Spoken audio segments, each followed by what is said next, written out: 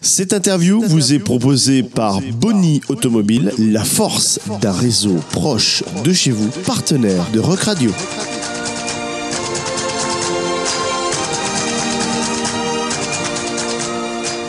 Bonjour à vous toutes et à vous tous. Aujourd'hui, bien, nous avons la chance d'avoir le tout nouveau président de l'Interclub. Alors, quand je dis tout nouveau, euh, il est fraîchement réélu. Thierry Fraisse, bonjour. Bonjour, bonjour à tous. Voilà, Thierry, donc euh, une, une réélection qui s'est fait euh, tranquillement, mais dans le changement, je crois. Oui, ben, disons que ça fait maintenant euh, six ans que je suis président euh, de. Ça fait deux mandats. Et c'est vrai que je me posais un petit peu les questions de savoir si je devais continuer. Bon, c'est vrai qu'il n'y avait pas pléthore de candidats non plus. Donc voilà, on a essayé de, de se réorganiser un petit peu. On a, il y a des nouveautés dans le bureau. Voilà. Donc maintenant, on aura un vice-président. Avant, avant c'était tous les présidents de club qui étaient vice-présidents. Maintenant, il y aura un président, un vice-président du moins qui fera partie du bureau. Et donc, ce vice-président, c'est Patrick Canty, qui est président du Vigneron. Voilà. Donc, on a le trésorier qui reste le même, c'est Mathieu Boivin. On a un nouveau secrétaire, parce que Sabrina avait mis souhait d'arrêter. Donc, le nouveau secrétaire est Eric Aubry. Voilà. Donc on a un bureau de quatre personnes et on a un CA qui, reste le même avec euh, tous les, présidents de club et, et, les membres de chaque club. Voilà. Thierry, avant de passer aux choses euh, qui fâchent, et il y en a il y en a pas mal hein, depuis quelques jours, voire quelques semaines, il y a quelques-unes. Ouais. Euh, je voulais juste faire un petit bilan avec toi de, de cette saison, alors qui n'est pas forcément terminée, on l'espère pour la SM Clermont-Auvergne, mais qui est terminée au stade Marcel Michelin, ça on en est sûr. Euh, voilà, premier bilan pour toi. Un premier bilan euh, que pour le moment, bon, c'est pas une mauvaise saison, on va dire. Au niveau de la Yellow Army, on va dire. C'est euh, pas mal de déplacements qui ont été faits. Bon, la Coupe de France, on a eu la chance de faire tous les déplacements jusqu'à la finale. Bon, on, on est tous d'accord pour dire qu'il manque un petit quelque chose, c'est une victoire. Mais bon, voilà, ça fait partie du jeu. Après, bon, bah, maintenant, j'espère que les, meilleures choses restent à venir. Hein. Il nous reste deux matchs de top 14. On espère deux matchs déjà. Ça voudrait dire qu'on retournera en finale du top 14. Et puis voilà, on va voir comment ça va se passer. Ouais, donc euh, on, va, on va pousser notre équipe, hein, on va continuer à la pousser. Il y, a quelques questions hein, qui ont été posées sur les, les réseaux sociaux et, on va y venir dans quelques instants et notamment sur la, demi-finale à, à, Bordeaux. Euh, J'aimerais attaquer donc cette, cette série de, questions, hein, si tu le permets. Mais on va monter crescendo. On va monter crescendo. La première, euh, c'est Bruno, Bruno Berton, qui me demande. Euh, c'est un passionné de rugby, fidèle supporter de l'ASM et il souhaite créer un, club de supporters en Bourbonnais. Euh, région de, de Moulins. Et, il voudrait savoir comment on fait pour créer un, club de supporters et adhérer à l'interclub. Ah, bah, adhérer à l'interclub, parce que ça vient après. Il faut d'abord commencer déjà par créer un club. Bon, on a tous fait, tous les clubs qui sont créés, c'est parti en général d'une bande de copains qui décident de créer un club. Bon, après, il y a un petit noyau qui se forme, des gens qui viennent autour. Et puis bon, on devient vraiment un club quand on a déjà pas mal d'adhérents et surtout pas mal d'abonnés, parce que bon, on parle beaucoup en abonnés. Donc, euh, et après, après, une fois que ce club a commencé à vivre, euh, voilà, donc l'interclub, nous, on essaie de le suivre, de l'aider, et puis après, au fur et à mesure, et ben, on les intègre. C'est ce qui s'est passé avec euh, le club de Tourna Boutaco, qui s'est monté déjà il y a deux ans. Donc on l'a aidé, on l'a vu évoluer, et puis depuis, ça y est, il a intégré l'interclub pour la saison prochaine. Voilà. Nouvelle question de Thomas. Thomas qui te demande bien depuis combien de temps tu supportes l'ASM Voilà, bonne question. Euh, je crois que ça fait plus de 40 ans, hein, il me semble. Non, mais j'ai eu la chance d'habiter moi à côté du stade Marseille Michelin quand j'étais gamin et j'avais la chance de jouer à l'ASM à l'école de rugby. Donc voilà, donc à cette époque-là, les stades n'étaient pas pleins, le stade Marseille Michelin n'était pas plein, et pour tous les jeux, tous les gamins de l'école de rugby avaient le droit d'aller gratuitement avec sa carte. On avait une carte de, de membre, et donc forcément, ben, j'ai passé tous mes tous mes week-ends, enfin tous les dimanches à l'époque, ça jouait le dimanche après-midi, je passais tous les dimanches après-midi au stade. Donc voilà, donc ça fait très très très longtemps que je suis au stade. Question de Camille. Camille qui se demande combien va coûter le trajet aller-retour en bus Clermont-Bordeaux. Si tu as une fourchette de prix également sur les places. Oui, bah, on a commencé nous à, à contacter des autocaristes, hein, forcément. On a même bloqué des bus. Bon, on, on va dire en gros, c'est genre pour 30 euros le voyage en bus pour le, par personne. Et le prix des places, tu, tu les connais?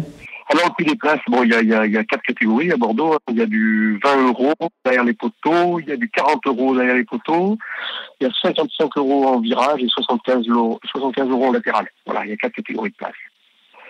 Donc il faut en vendre, malheureusement, je ne sais pas quand. Oui, oui.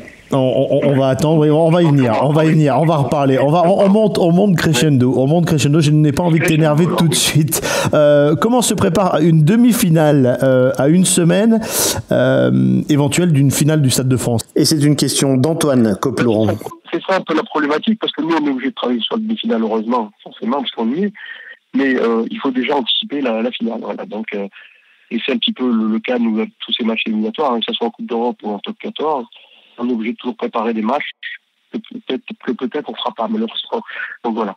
Ben donc nous dans la demi-finale ça se prépare ben, comme, un match. Euh, comme je disais tout à l'heure, il y a des bus qui sont organisés. Il y a, nous c'est la bande de place auprès de nos adhérents dans les clubs, c'est toutes ces choses là quoi à mettre en place. Et après bon ben c'est travailler sur euh, cette éventuelle finale, c'est-à-dire on est habitué à faire des, des trains de supporters pour monter à Paris, donc il y aura des bus, et ainsi de suite. Voilà.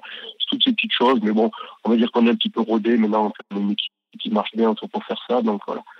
Donc euh, c'est la routine, on va dire. Allez. Ludovic se pose la question suite aux incidents quand je dis incident, euh, à l'occasion de, l'inauguration du stade de Bordeaux avec les Girondins de Bordeaux, il y a eu un mouvement de foule sur un but.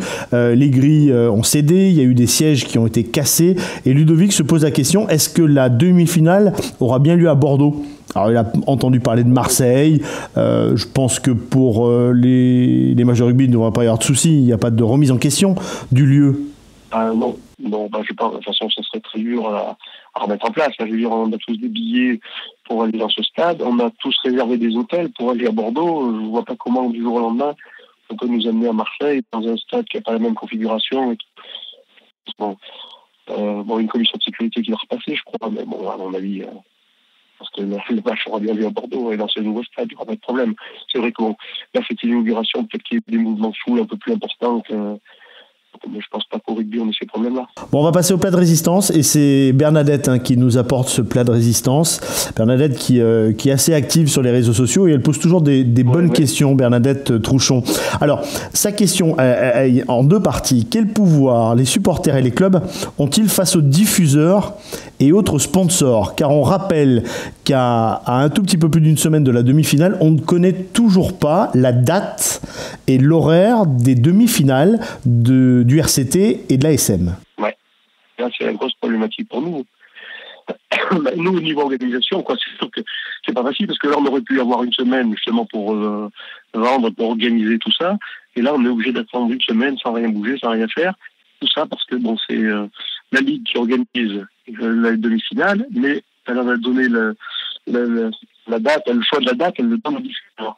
Là, c'est un petit peu vraiment dommage, et c'est ce qui a valu un petit peu mon cette semaine, parce que bon, c'est bien, on sait que Canal a mis des moyens financiers beaucoup au rugby, mais de là à lui donner euh, le pouvoir de choix des, jours de match, c'est un petit peu dommage. Euh, jusqu'à l'année dernière, c'était le, premier du top 14 qui avait le choix de jouer ou le vendredi ou le samedi. Donc on va dire que ça donnait un petit peu plus de piquant euh, au classement, c'était sympa à ce niveau-là. Après, et puis au moins ça permettait de savoir que voilà, nous on savait si on était deuxième, d'en jouer le, le, jour qui restait quoi. Voilà, on n'avait pas le choix. Là, ben maintenant on va être obligé d'attendre des matchs de barrage et tout ça parce que Canal a peur qu'il y ait une confrontation qui soit peut-être un peu moins valorisante pour le vendredi soir, comme ils veulent faire un match en prime time, ils veulent la meilleure affiche possible. Donc ils vont attendre le dernier moment pour savoir être sûr que ce soit la meilleure affiche. Moi je trouve vraiment un peu dommage parce que quand on a votre finale, on a quatre clubs qui qui méritent d'être là déjà et qui sont donc les quatre meilleurs clubs français. Donc je pense pas qu'il y ait une affiche qui sera plus belle que l'autre, qui aura plus des tours que l'autre. On, est en... un peu dommage. on est en train de privilégier euh, plus l'audimat de télévision que, que le remplissage du stade Parce qu'on ah, peut se retrouver avec, avec un stade pas à moitié vide, mais, mais pas rempli. non, mais malheureusement, c'est qu'ils ont, ils ont la chance d'avoir prévendu pratiquement la, la totalité des places. Hein. Il ne reste que les deux quotas qui restent pour les deux demi-finalistes hein, à chaque match. Donc, euh, on sait qu'ils ont gardé euh, 3 ou 4 000 suivant le, choix de chaque club. Hein. On sait qu'on aura 4 000 nous, pour cette demi-finale. Donc, tout le reste est déjà vendu. Donc, voilà, ils prennent pas tellement de risques là-dessus, sauf sur ces 4 000 places, voilà, de chaque côté qui, qui risquent de. Et nous, euh, on sait qu'à chaque fois, nous, on a notre gourmand, clairement, mais même là, les gens, ils ne savent pas. Est-ce qu'il faudra prendre son vendredi? Est-ce qu'il ne faut pas le prendre? Est-ce qu'il... Donc, c'est vraiment, c'est vraiment dommage. Et même le barragiste, les, enfin, les, deux équipes barragistes sont désavantagées aussi, parce que bon, euh, nous par exemple, on va jouer contre le vainqueur de Toulouse a. Ben, si ces, ces supporters Toulouse ou d'Oegana savaient que, par exemple, ils devaient jouer le vendredi, ils peuvent, dans le même temps, s'organiser aussi pour organiser des bus pour descendre le vendredi, et ainsi de suite. Quoi. Donc là, même eux, ils sont dans l'embarras, autant que nous. Donc c'est vraiment nul. Quoi, voilà. On se retrouve avec euh, des supporters qui sont encore pris en otage, quoi, une fois, encore une fois. C'est bien malheureux. Quoi. Et c'est un peu dommage. Le politique, c'est souvent maintenant. Bernadette a une deuxième question. Euh, comment éviter des années futures de se retrouver euh, à une semaine de la demi et, et ne pas connaître euh, l'horaire et, et, et, la date? Est-ce que vous allez imaginer vous réunir entre supporters, faire une sorte de syndicat pour, pour avoir du poids face au, à Canal? Ben, nous, déjà, nous, en tant qu'interclub, on l'a fait remonter pas plus tard qu'hier à l'ASM. Et puis bon, l'ASM est dans la même problématique que nous. Hein, je veux dire, que ce soit eux au niveau organisation, vente de billets, que ce soit eux au niveau des sportifs euh, pour, pour l'équipe. Je veux dire, pas savoir le jour, c'est toujours embêtant. Quoi. Donc, euh, on a tous le même problème. Donc, on est tous solidaires sur ce sujet.